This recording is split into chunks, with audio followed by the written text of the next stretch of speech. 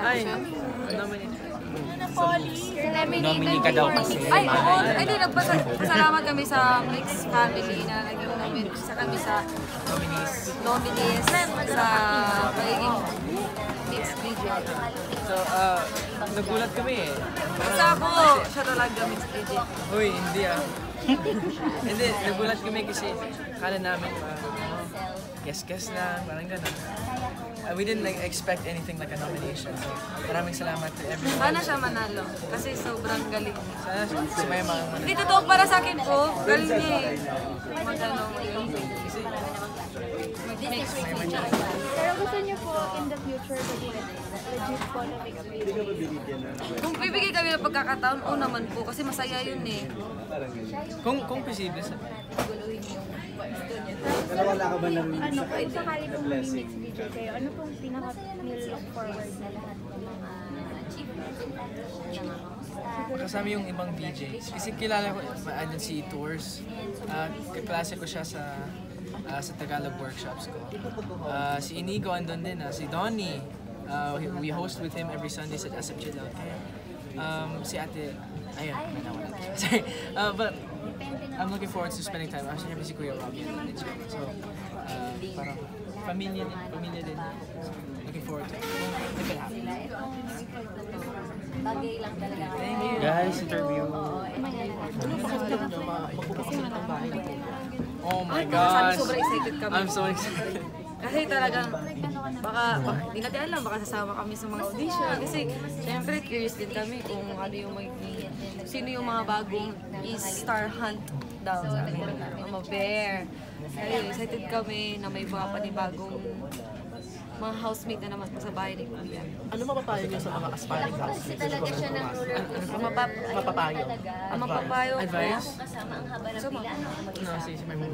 ang mapapayo ko po sa lahat ng mga aspiring, gusto maging aspire, ay, gusto, Ah, ah, ah, Sa mga gustong maging housemate. Sa mga gustong maging housemate po ni Kuya, ano lang, um, kung na, mas, kasi mas okay kung nararamdaman nyo talaga dito sa puso nyo na gusto nyo talaga ginagawa nyo. Kasi kung hindi, alam nyo na, na hindi. Eh. Oo, a- kasi kung hindi, a- alam namin o alam ng mga, Alam ni Kuya. Alam ni Kuya talaga na na hindi ka pa ready o hindi mo talaga gusto mga ginagawa mo or, or nag- naglalaro ka lang. Pero kapag nakikita niya yung mga taong ang gusto maging housemate ni Kuya, pumili ka talaga dito sa puso mo. Sa ginagawa mo na may pangarap ka talaga. How about you, Edmar? Um, yung advice ko sa Na magpakatotoo mga kayo. aspiring housemates, magpakatotoo lang kayo. Um, tama ba?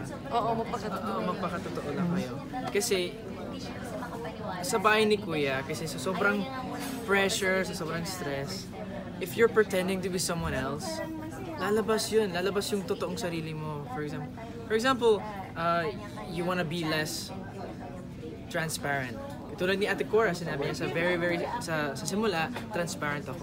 Ni, never siya nagbago. That's why I, we love her so much because she stayed true to who she is. So kayo, kung sino kayo, don't be shy. Show it. Be proud of who you are. Because if Kuya sees something in you, he sees something in you. If you pretend to be someone else, maybe he won't see something in you. So, magpak, magpak, Totoo. Magpakatotoo. Ikaw ba, ano, Edward, wa- hindi mo nakita nagbago si, ah si Maymay ngayong matagal na kayong wala sa house, sa bahay ni Kuya? Wala na ba? Promise. As in, si May May baliw pa rin, ah, mabait pa rin. As in, I- she will never say it. Pero, but she's pero one of si Edward po nagbago. Ay, sorry. Yung Tagalog niya nagbago. Nag-improve po siya sa, tra- sa ano niya, sa Tagalog niya. Tsaka, may magbabago talaga. Mas nakilala ko siya mismo. Simula nung lumabas kami sa bahay. Kasi nasa loob kami, ah, ito lang pala si Edward. Okay. Pero nung lumabas kami, parati kami nagsasama, ah, ito pala talaga siya. So, ano yung nakilala mo sa kanya? Ay, akin, akin na yun. Pwede naman Ano i-share. eh, mas, ano siya, mabait. Oo, mabait, baliw. Thank you. Mas baliw. Kahawa siya Mas ng kabaliwan mo ba? Paano ba? Actually, na, Kung caring siya doon, mas caring. Oo, parang gan- Para sa lahat. But something I learned about May May na and nakakahawa yung happiness at kabaliwan niya. Kasi, Ano ko, clown? because like, kung, kung low bat ka, if you're low on energy, gusto mo umuwi, tapos si Maya man nagaganyan, ganyan. Charger niya lang ako eh. Power bank. Power bank Power lang siya eh, parang caffeine pill, parang ganun. Pero pag ako lobat, wala. Oh, patay tayo. Pero never siya nagka-low bat, so, yun. So pag lobat ka, hindi ka na... Affected din ako. So hindi ka na i-inspire ni Edward para... Kasi siguro po sanay ako na alam niya sinasarili ko lang. Tsaka okay ako kung lobat ako, okay lang din ako, kung masaya ako, okay lang kung wala akong kasama. Parang gano'n. So I didn't inspire you? Hindi naman, sa gano'n. Pero, pero, pero may natutunan ako sa kanya. Kasi yung pagiging independent ko, simula ng bata lumaki ako, dalandala ko na siya. Pero nung natutunan ko sa kanya, dapat minsan pala, hayaan mo yung isang taong tutulong sa'yo. Kasi baka mas mag-grow ka pa sa kung sino ka So talaga. ganun si Edward sa'yo. Opo, oo. Kasi minsan si she, Mas naging Because she- na- expressive ako. uh, she's so independent sometimes and she's so like she knows how she do how to handle herself sometimes she do, she doesn't ko alam. paano to explain? Hindi siya arrogant. Hindi siya hindi niya iniisip na iniisip na o kaya pa to sa sarili ko hindi ko kailangan ng iba. But sometimes she just isn't as open. So Parang ayaw ko magka-problema yung iba sa problema ko. nung gulo. Pero now she will stand up for, for herself she's stronger than she was sa bahay Pero mas natutunan ko sa kanya yung pagiging expressive. Kasi kapag may express mo pala yung problema mo, kasi minsan po tinitintin mo, di ba po, lahat ng problema mo, tapos iyak mo na lang, tapos hindi pa pala nawawala. Pero yung naranasan ko na, kasi expressive ko siya eh. Ah, ganito pala. Tapos kung na-express ko na, mas nawawala talaga yung bigat kapag may may kaus i-express mo yung problema. Ano, kind of, ah, don't you get pressured? Don't you get pressured dun sa mga fans nyo? Ang dami yung mga fans na they wanted na maging kayo na talaga.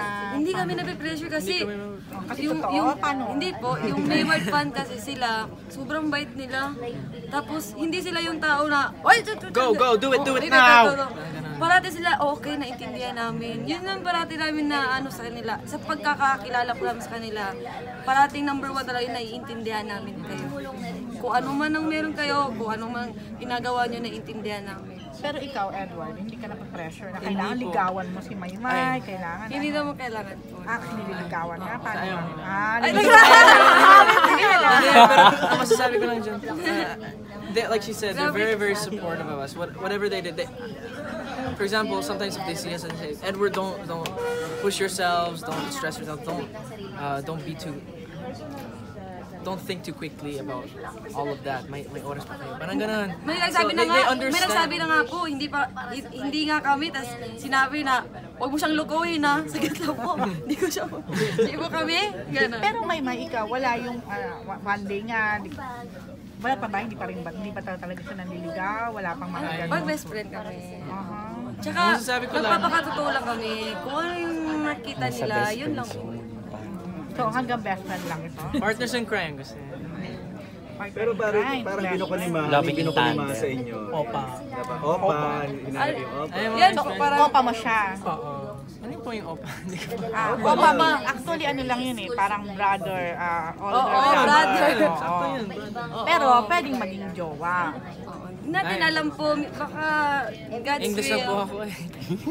Ayan, sorry. Ayan.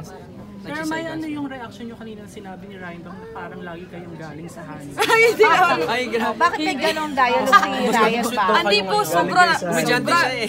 Komedyante si Kuya Ryan ba kaya ano yung mga sinasabi niya? Hindi, bakit may ganon siyang ano, nagkaroon ng ganong assumption na Hindi kasi po, um, nasanay na po kami na parati kami nag-uusap para minsan minsan hindi namin alam na nawawa, na yung mga topic namin na iba-iba na. Tapos sila iba, ay parang alam parating na iba kami. Sa ay, hindi namin alam na nasa ibang mundo na pala kami. Ah, ah, ah. kasi pag na pag once nag-start yung tawanan namin o biruan namin, alam niyo ba yung honeymoon? I'm sure alam niyo, di ba? Opo, yung mama ko nga, na ganun nga.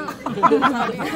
Oh, so, oh, bakit ganun nga? Parang ang dating nun. Hindi ko po alam sa kanila. Siguro si- nasobrahan si... So, sobrang close kayo, sobrang sweet, gano'n? Sobrang physical. Ito ba? Sweet po ba? Sweet ba yan? Hindi po.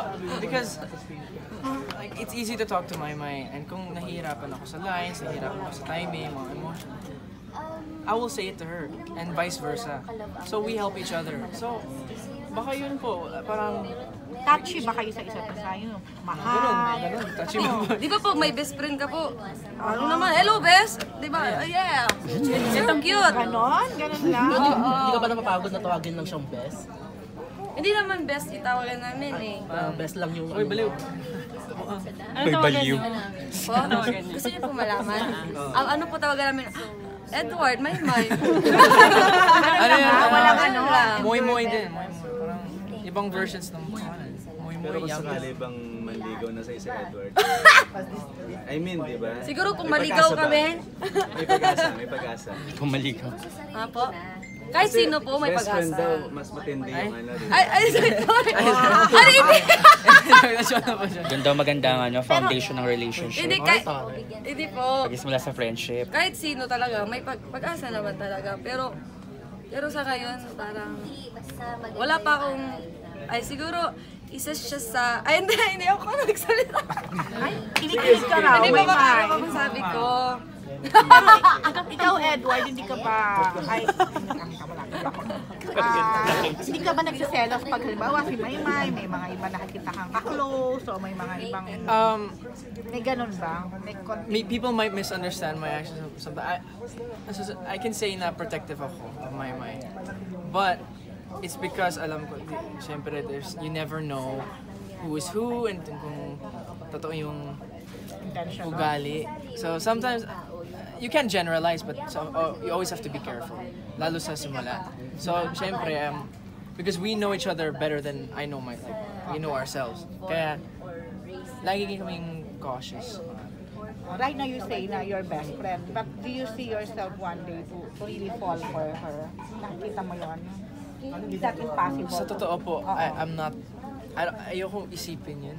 Kasi, like, why would I, dapat you have to, you should be content with whatever you have at the moment. And I'm content with what I have. I don't want to rush things. I don't want to think about that. Kasi, how ma-influence yung actions ko sa, sa future. So, I've always tried to live in the moment. Kung ano ang totoo, yun ang, Ano ba yung nadidiscover Happy ka ba sa narinig mo sa kanya, may may? O magkasama. Ano, ano ba, ano ba? happy ka ba sa narinig mo? Hindi ako happy sa kanya. Ano ba yan? ay, ay gusto mo, okay, okay lang sa akin. Bakit naman? ikaw, ikaw. Ikaw, Same, same question. Same question, tinatanong niya. Kung ikaw, ganun ba? Same question. Opo, same question. Na one day, ah, o one day pa nga ba, or uh, you'll fall for him? Who knows? Two days, three days. Hindi ko alam. Pero ano yung nadidiscover niyo po sa isa? Habang matagal na kayong magkasama, mag Po? Ano pa yung mga nadidiscover niyo? Ah, discover ko sa kanya. Ano sinasabi ko na po eh, papait, caring, Yes, sweet. hello everybody! Ikaw, please, Edward. please panoorin niyo po Tumawa, Matawa. Edward. Yan, bilis mo rin sumagot eh. Nag-aaway ba kayong dalawa? Opo naman. Araw-araw. Araw, anong dalas niyong pinag-aawayan? Parang pambata ng mga away. Mins- Ano nga? Pero hindi kami umabot ng bukas pag nag-aaway kami. Parang sino- Parang magka Bago matulog. magkapatid.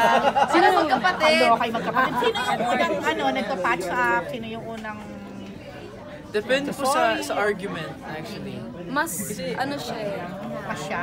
Ang alin? Who, who's Nag-reach out the, na maging okay kayo pag nag-aaway kayo? who's the one always says sorry first?